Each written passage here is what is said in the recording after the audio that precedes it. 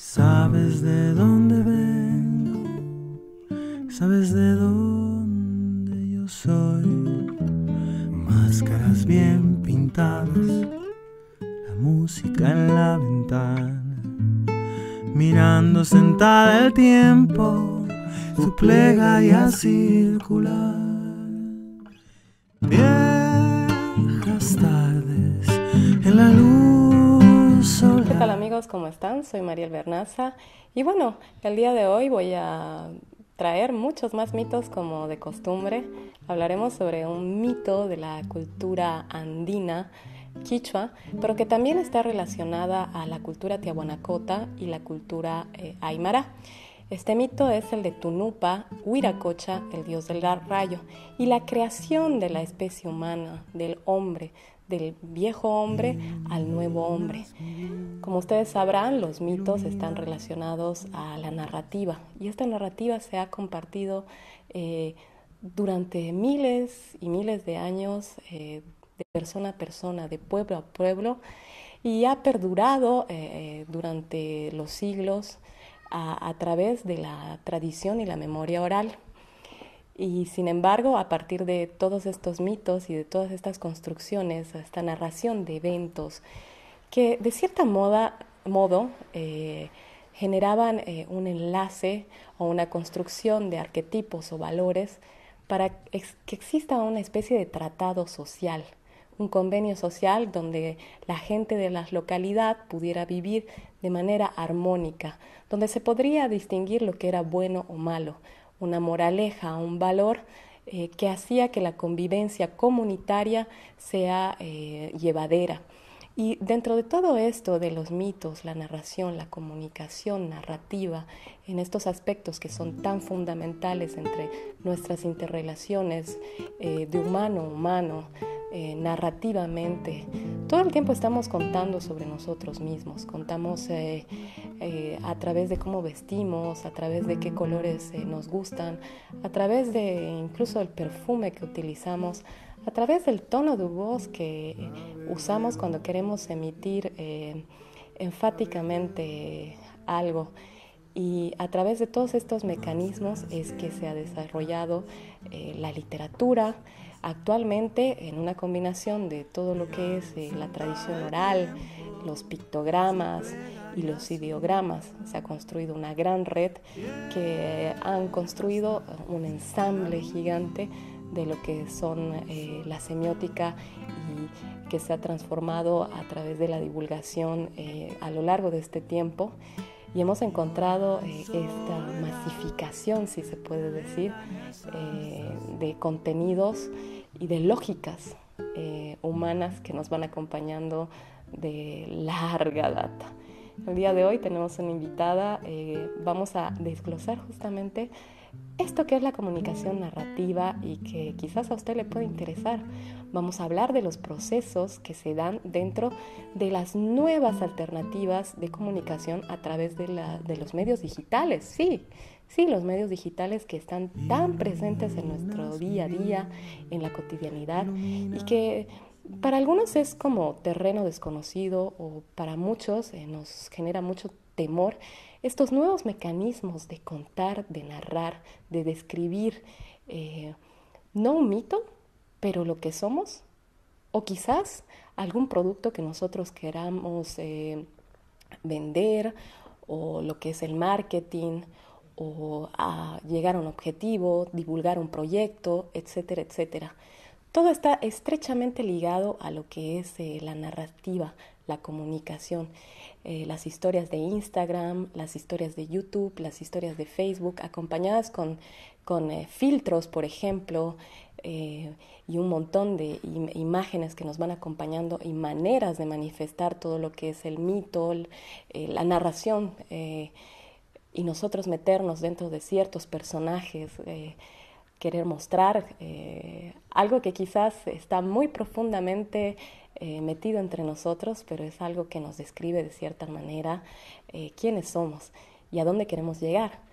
Así que el día de hoy vamos a abordar justamente esa temática a partir de cómo se construyen ideologías a través de los mitos y las leyendas, cómo se construyen héroes antihéroes y muchas otras cosas más a través del mito y la leyenda.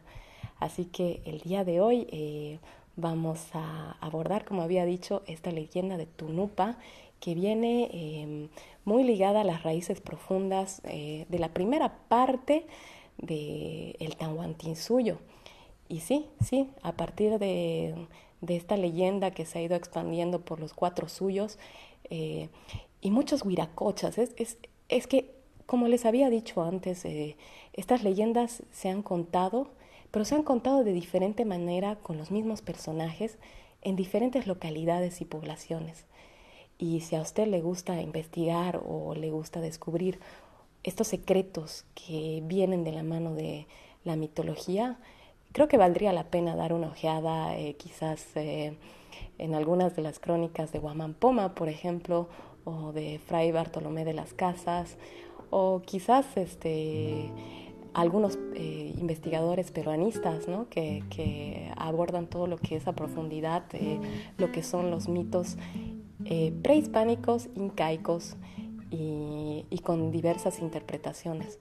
A mí en lo personal este mito eh, me ha generado muchos cuestionamientos porque he tenido que investigar y preparar mucho y todavía tengo muchos vacíos porque he tratado de buscar ese dios del rayo en diferentes culturas y en diferentes localidades y hay historias que se asemejan, pero hay muchas otras que no.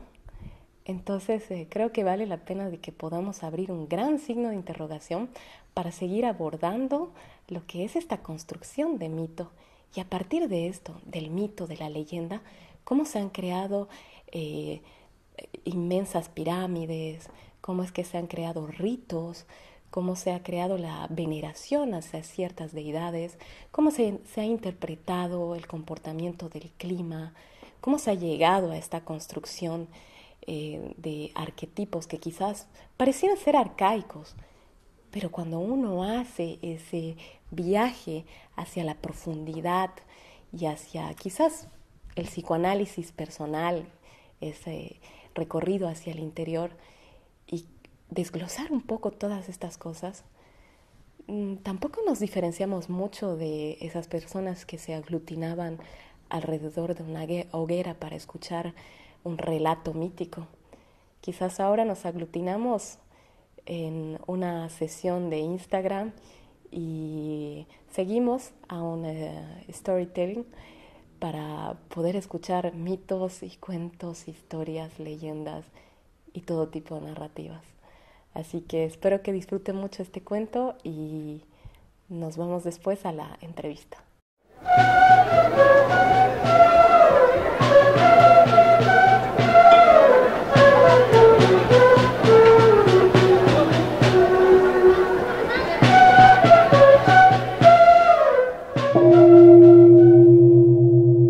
Leyenda. Hace mucho, pero mucho tiempo en el mundo solo existía la tristeza, la oscuridad y el silencio. Aún no se había creado el hombre ni a los animales. De pronto, Huiracocha, el dios de los dioses, sintió pena por esa soledad y creó dos soles, Inti y Paxi. Cuenta la historia que ambos eran bellos y fuertes. La única diferencia era que Paxi brillaba más que su hermano.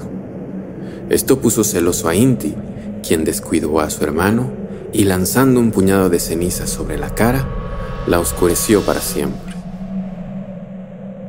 Desde entonces la luz de Paxi es tenue y solo sale de noche. Huiracocha no dio importancia a lo ocurrido se concentró en crear al hombre. Lo esculpió en piedra granito de Comanche.